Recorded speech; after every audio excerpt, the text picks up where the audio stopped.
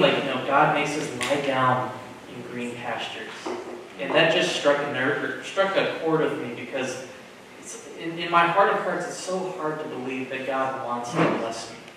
That like God looks at me and He wants to prosper me. And it, it, it immediately made me think of these scriptures of like when David sinned with Bathsheba and he killed Uriah, and how Nathan rebukes David and he says, um, and, he's speaking on behalf of God, I gave you all Israel and Judah, and if this and if all this had not been too little, I would have given you even more.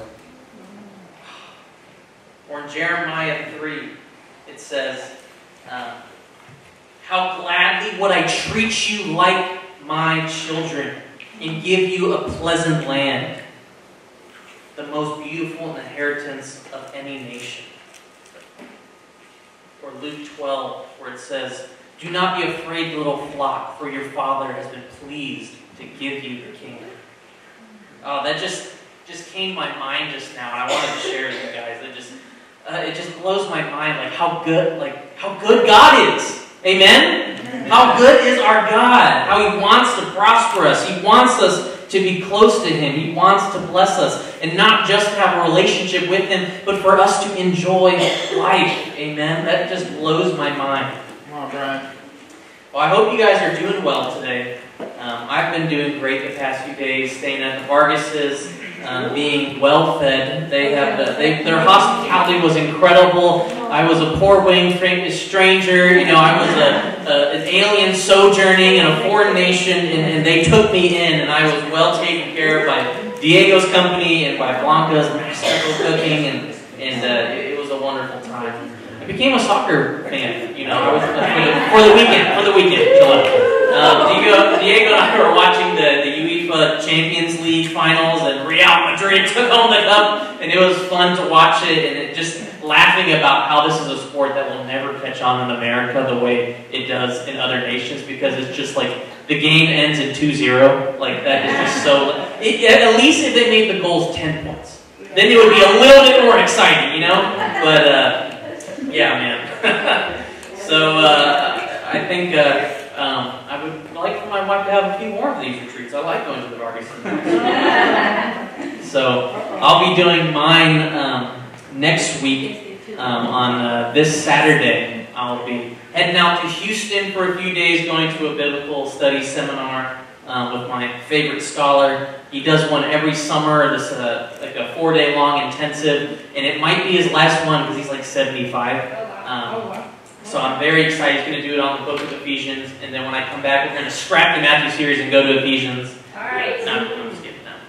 But, uh, so like I said, we, we started a series in the Gospel of Matthew. And hopefully we're going to be learning some new things and reminded of some old ones. Uh, that, uh, that we're going to look at Jesus and be changed.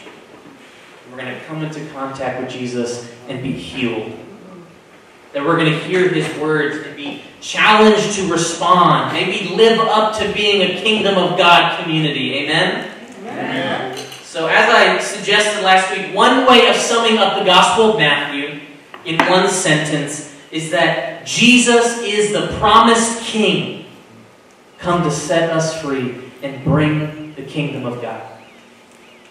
In Matthew's Gospels, you can kind of think of it as like an apologetic to the Jews that Jesus was, in fact, the promised Son of David, Son of God, anointed one, the promised Messiah King. Jesus was the King, is the King. He did, in fact, liberate God's people. So as we journey through the Gospel of Matthew together in these next few months, we're going to have the kingdom of God prophetically pronounced over us week in and week out.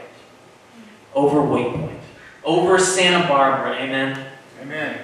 And these first few messages, this one and the next one, um, which will not be next week because next week I'll be out of town. We're going to have Geo Garces come up and bless us with some uh, with the, the, message. And then the week after is Father's Day, so we'll have some father sharing. Um, and then, then the week after that, we'll get back into Matthew. But these first few lessons is going to be laying the groundwork, laying the foundation it is going to be helping us see the entire Gospel of Matthew. And, uh, and, I, and if you didn't listen or you weren't here last week, I recommend that you go back and listen to the message. So, because we looked at the introduction, we looked at Matthew's genealogy of Jesus, and far from being a boring list of names, come on, David, it's not a boring list of names. It is this dramatic drum roll announcing the, that the entire biblical story has reached its climax in the birth of the coming promised king. We learn from the genealogy that God is faithful to his promises, even when we aren't. And how Jesus takes on the role in the Gospel of Matthew as a new Moses, as the teacher of God's will to his people. That he is the fulfillment of God's promise to Abraham for innumerable descendants that are going to be his vehicle for blessing the world. That he is like a new David, whose kingship brings the ultimate fulfillment of the promise made to, da- uh, to David in 2 Samuel 7 that his heir would be called the Son of God and would sit on his throne and have this everlasting kingship and build a temple for his people. So today we are going to get into the Christmas story. Come on. And we are still in the first section of the Gospel of Matthew, the preparation of the king. We're still in his introduction, which is why these next messages are really important for understanding the Gospel of Matthew. So we're looking at the Christmas story. It's kind of like, you know, Christmas in July. We're celebrating Christmas in June. Amen? So we're going to be looking at the Christmas story. And this passage is full of God moments. Full of moments where God shows up and he just does his thing. And if you're not already there, you can turn to Matthew chapter 1, verse 18. And it reads, Now the birth of Jesus the Messiah took place this way. When his mother Mary had been engaged to Joseph, but before they lived together, she was found to be pregnant from the Holy Spirit. Her husband Joseph, being a righteous man and unwilling to expose her to public disgrace, planned to divorce her quietly. But just when he had resolved to do this, an angel of the Lord appeared to him in a dream and said, Joseph, son of David, do not be afraid to take Mary as your wife. For the child conceived in her is from the Holy Spirit. She will bear a son, and you are to name him Jesus, for he will save his people from their sins. Amen. All this took place to fulfill what had been spoken by the Lord through the prophet. Look, the virgin shall become pregnant and give birth to a son, and they shall name him Emmanuel, which means God is with us. When Joseph awoke from sleep, he did as the angel of the Lord commanded him. He took her as his wife, but had no marital relations with her until she had given birth to a son, and he named him Jesus.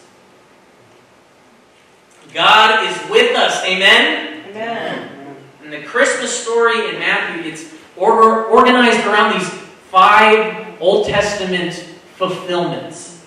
And Matthew has 11 of these throughout the gospel, and five of them are concentrated right here in Matthew 1 and 2. 11 times he has this, and five of them are right here. And, and we'll get into in a moment exactly what it, what it means for him to be fulfilling these scriptures. But, but five of them are concentrated right here at the beginning at Jesus' birth, and it shows God's involvement in everything going on. Amen. God is involved in everything going on. Whether we see him or not, whether we recognize him or not, whether or not it's miraculous, God is involved. Amen. Amen. And uh, Joseph and Mary, they were pledged to be married. It's a little bit more than, than what we would call being engaged. It, it, the traditions surrounding Jewish marriages are a little different than the way we do things today. But the point is that, that Joseph and Mary would have been considered husband and wife for all intents and purposes in the eyes of God. Um, if you're curious about all the nuances of that, I'd be happy to explain it to you in more depth. But the point is that they would have been seen as married for all intents and purposes. And Joseph was a righteous man. So he planned to divorce Mary in keeping with the expectations because she, he, I mean, it looked like she was an adulteress, so he would have been expected to divorce her. But also because he was a righteous man, he wanted to do so quietly and not subject her to shame or further shame in public humiliation. Joseph is righteous in both the letter of the law and the spirit of the law. Amen? Amen. Except Mary wasn't adulteress. Her pregnancy was miraculous. I mean, you can't blame Joseph for thinking otherwise. What she conceived was by the Holy Spirit. And God communicates to Joseph three times with an angel and once through a dream. God was explicitly directing and guiding these events to take place in a particular way. And, and it's important to know that this is unusual. I mean, God is always active in our lives. But the way I understand the will of God is that it is not always this specific and narrow as it is right here. God was so clear in the case of Joseph here that because it was the birth of the Messiah that we're talking about. So it, we don't need to feel this sense, I think, of, oh, well, I don't see God speaking to me in dreams, and I don't have God, angels showing up to my life. Like, does God not love me? Am I not a real Christian? Is God not speaking to me? Is not God not in my life? What's going on? You know, no, you don't need to feel that insecurity. We don't need to feel lost if God isn't making every decision crystal clear to us. Because sometimes I think His will is like is like being given a canvas to paint on with simple yet ambiguous instructions. It's like God's will is like being told to paint a mountain landscape in spring. But we get to choose whether we'll use oil or water-based paint. We choose the colors. We choose the time of day that the painting is depicting. We choose if it's a desert mountain landscape or a Himalayan or a Colorado. God wants us in His will to love Him with all of our heart, mind, soul, and strength, to love our neighbor as ourselves, to be devoted to one another. He wants us to be devoted to the apostles' teaching, the fellowship, the breaking of bread, and the prayers, and to make disciples of all nations. That is the will of God for your life. And there's a lot of wiggle room in there of what that can look like for you personally. And I think God, what He wants to do is He wants to do life with us. Amen. Not hand out top down orders of do this and do this, and if you don't get the perfect formula, then you missed my will and you're outside of my will and you're outside of my blessing. God, if that were the case, God would be making it very clear every single thing He wanted you. He'd hand you instructions and a text message every morning. Other times, God's will is very specific. And when it is, He makes that clear those who are willing to listen. Sometimes it's just clear in Scripture. The, what you're doing is sinful. God does not want this. What you're doing is hurting yourself and bringing brokenness into your life. And sometimes we stop our ears to it. Or, you know, God, why don't you lead me? So Joseph is told not to be afraid to take Mary as his wife, and that he's to name the child. God, right here, has a very specific plan in place. And what is that plan? It's to bring salvation to his people, to be faithful to his promises. Amen? Amen. And he, Joseph is told to name the child. The, the reason I think he's told to do this when I was studying was it is so that uh, Joseph is accepting Jesus as his legal heir. Because the husband names the child. And by Joseph naming the child, he is saying, Yes, this is my son. This son is my heir. And he is going to be a son of David. And Matthew, you hear kind of a little bit of the apologetic that Matthew is putting in there. Jesus is a genuine son of David. And the angel makes clear, though, that the, the salvation that Jesus is going to bring them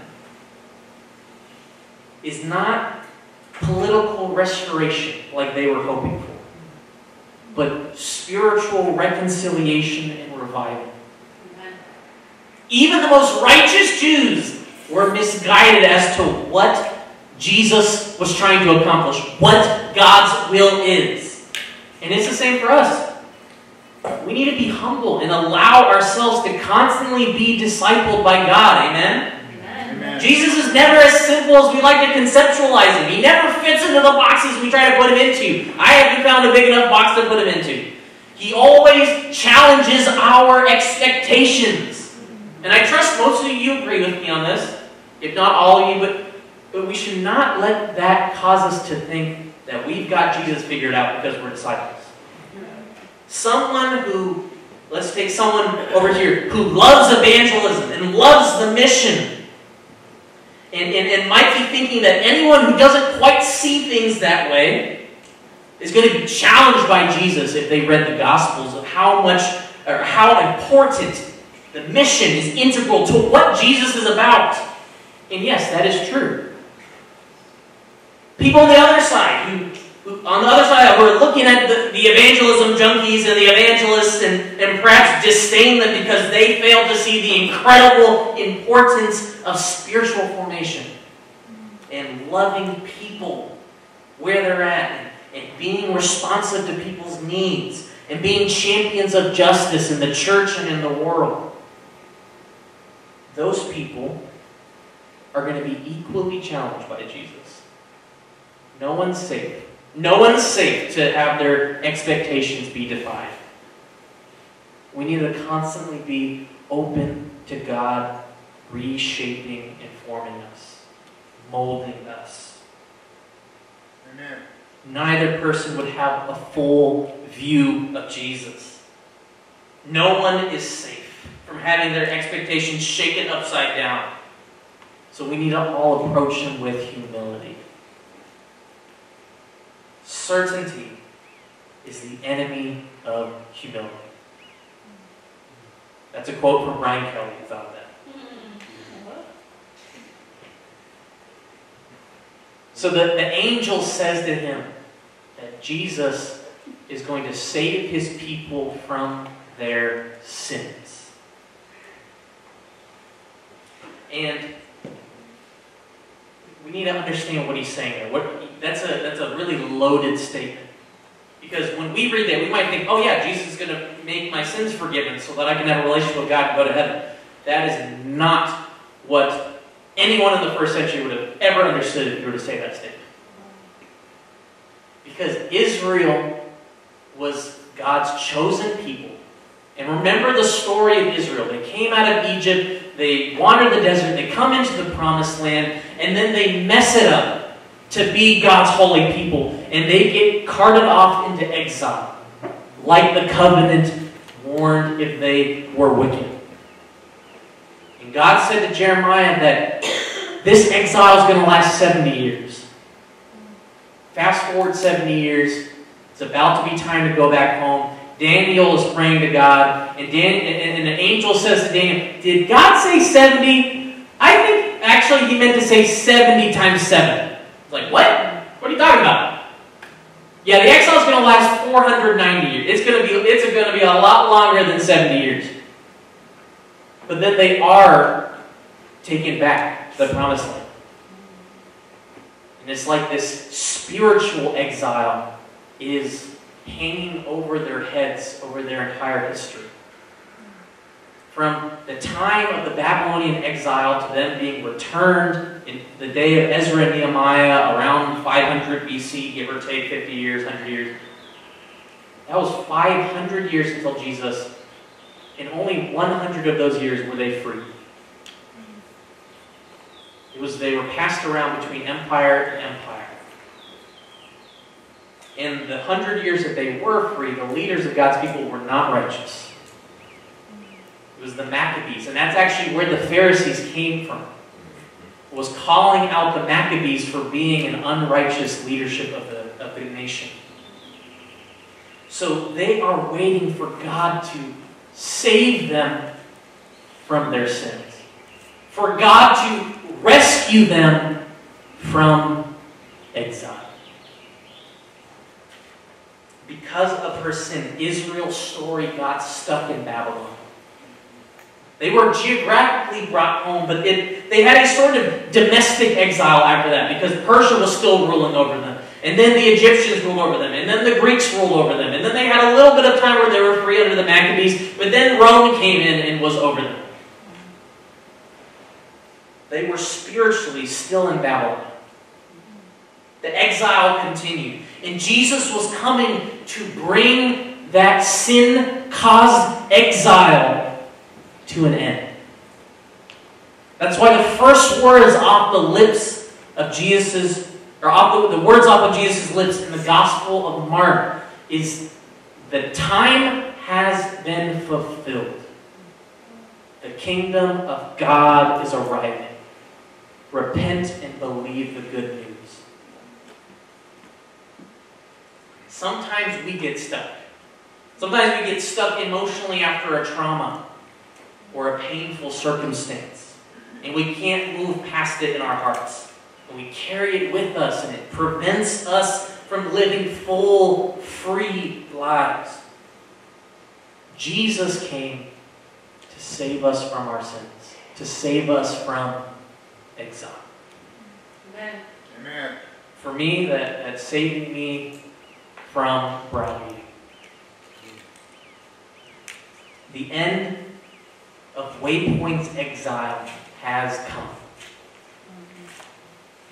Talk about the kingdom of God being proclaimed over this church as we as we read the Gospel of Matthew. Well, the kingdom of God is arriving in Santa Barbara. Waypoint's exile is coming to an end.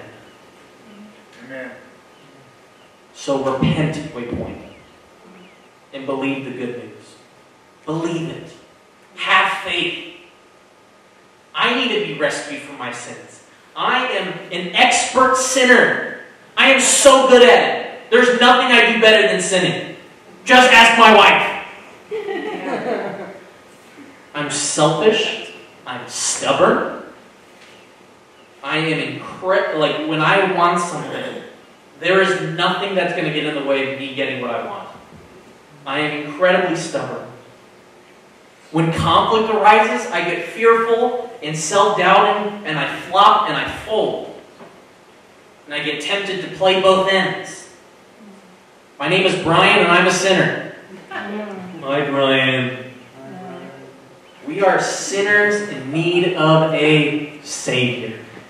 Amen? Come on, Brian. The angel says that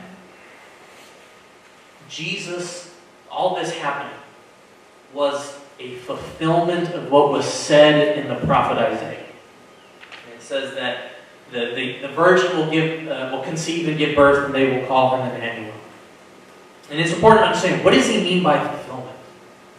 Is he saying this prophecy, this was a prediction made by Isaiah 700 years ago, and now it is finally coming true? That's how I grew up thinking about fulfillment of prophecy. That is not what fulfillment means. What fulfillment means is that what Jesus is doing or undergoing is echoing what already happened. Okay. So, in the context of Isaiah, the, the, the prophecy was given in the 8th century. And it was referring to a child who was about to be born, like in a year or two, from Isaiah. And before, and while the child was still a baby, the time uh, God would be bringing a swift end to his enemies.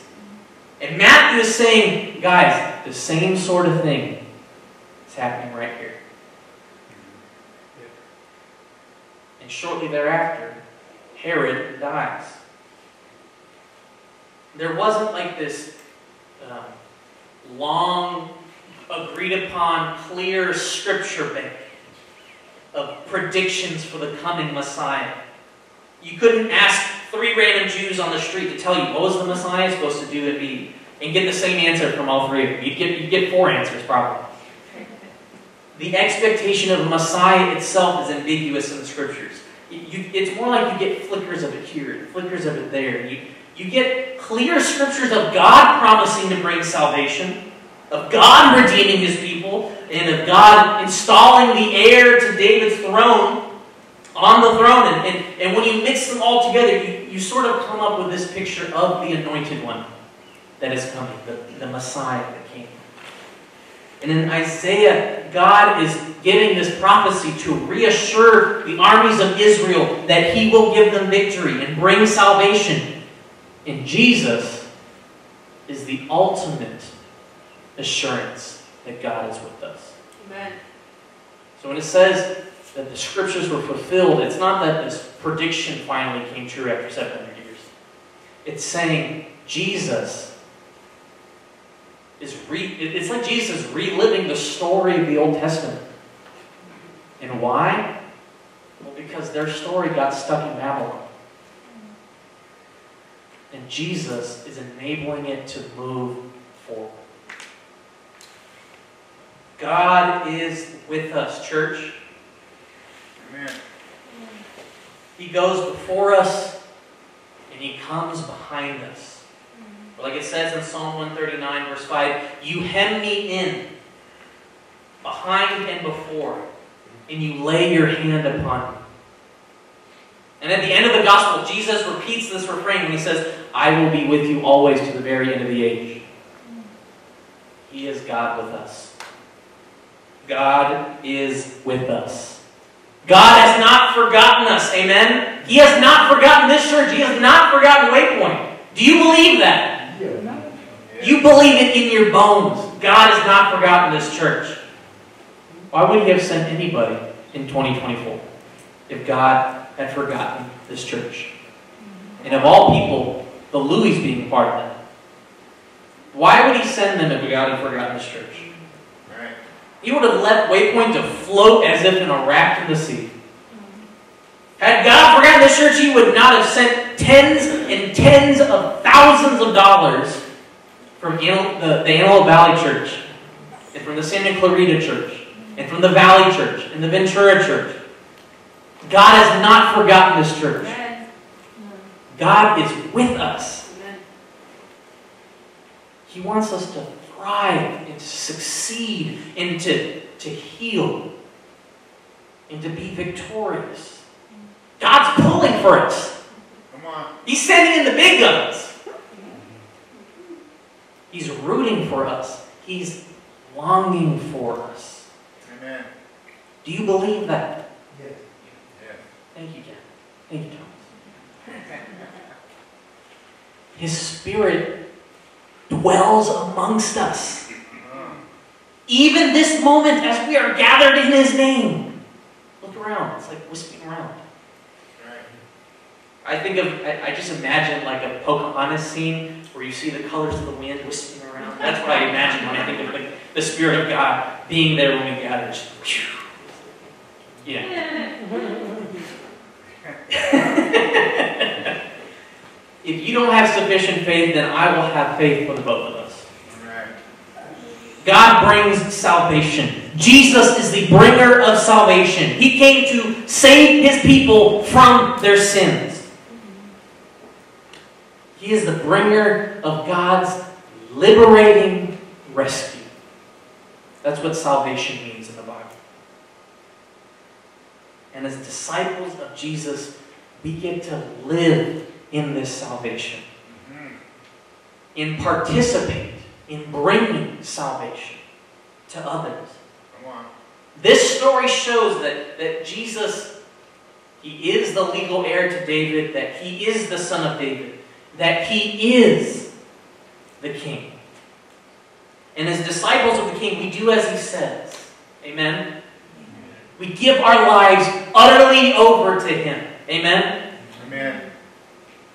Going on in Matthew 2, it says, In the time of King Herod, after Jesus was born in Bethlehem of Judea, Magi from the east came to Jerusalem asking, Where is the child who has been born King of the Jews? For we observed his star in the east and have come to pay him homage.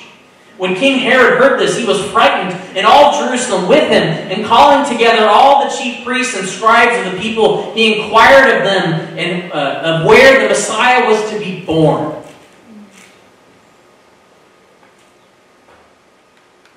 Did I, s- did I read past it? Ah, there we go. I don't know. Five. What verse am I at? Five. I'm reading off. Verse five. I'm at five. Okay, cool, cool, cool. There we go. Uh, Where the Messiah? Thank you, thank you. Okay. They told him. in Bethlehem of Judea, for so it has been written by the prophet, and you, Bethlehem, in the land of Judah, are by no means least among the rulers of Judah, for from you shall come a ruler who is the shepherd of my people Israel. Then Herod secretly called for the Magi and learned from them the exact time when the star had appeared. Then he sent them to Bethlehem, saying, Go and search diligently for the child. And when you have found him, bring me word so that I may also go and pay him homage. when they had heard the king, they set out and there ahead of them went the star that they had seen in the east until it stopped over the place where the child was. When they saw that the star had stopped, they were overwhelmed with joy. On entering the house, they saw the child with Mary, his mother, and they knelt down and paid him homage. Then, opening their treasure chest, they offered him gifts of gold, frankincense, and myrrh. And having been warned in a dream not to return to Herod, they left for their own country by another road. Amen.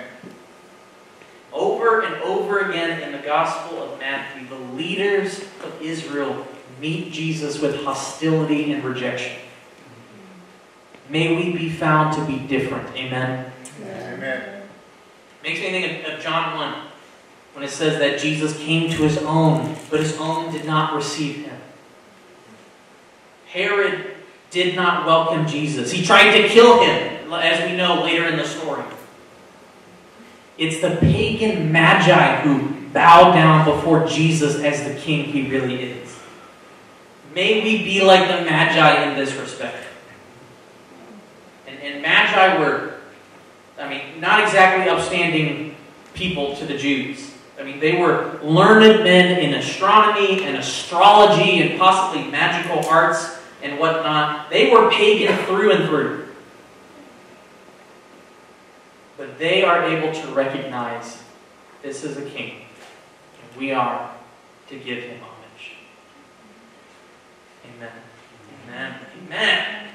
Amen. And I think it's difficult to understand at first why it says that Herod and all Jerusalem were distressed at the coming and the words of the Magi.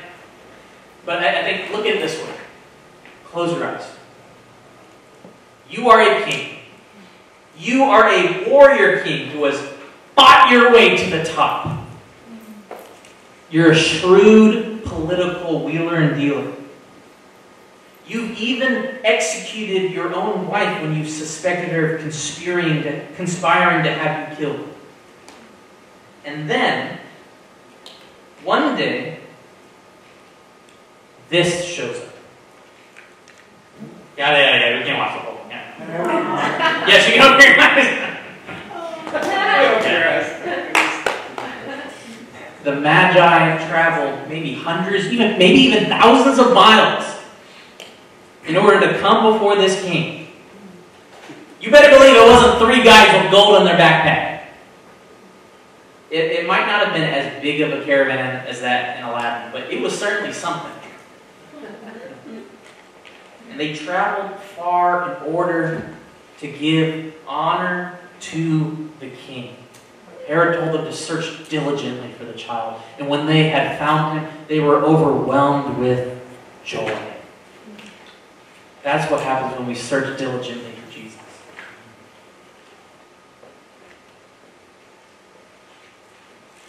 They traveled far to give honor to the king, whereas Herod wouldn't even leave his palace. Doesn't that sound like us sometimes? We claim to be true disciples, but then, you know, we don't want to come to church.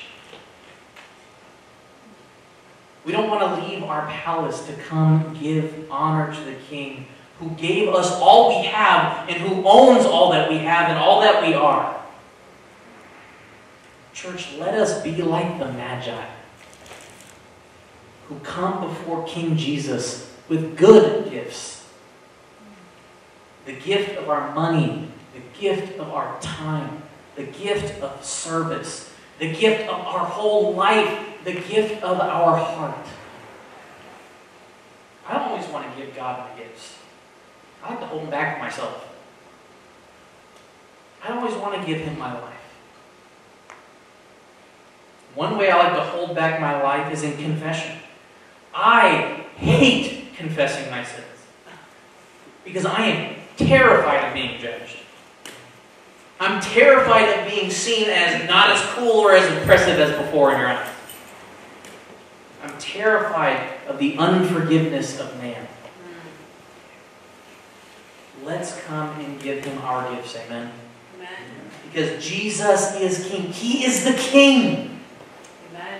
Amen. He is majestic and wild and free and untamed. He is just and loving and kind and good. He is the Son of God. Come on. Amen. So let's go to our God in prayer. Father, thank you for this beautiful day. Thank you that we can come before you with boldness, like it says in Hebrews, because of what your Son has done. Thank you for giving to us your Son, the King. Thank you for bringing salvation from sin, for bringing an end to exile. God, I pray that you help us to give you our gifts. Thank you, Father, so much for all of your blessings, for everything that you've poured out upon us. Thank you, God, for this meal, this banquet at your table we're about to have together. Thank you for your kingdom. In Jesus' name we pray.